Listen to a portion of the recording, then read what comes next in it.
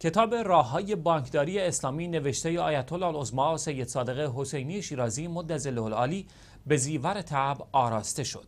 این کتاب به همت مؤسسه جهانی الانبار و با همکاری مرکز نشر و چاپ دارالمعمم لبنان چاپ و منتشر شد.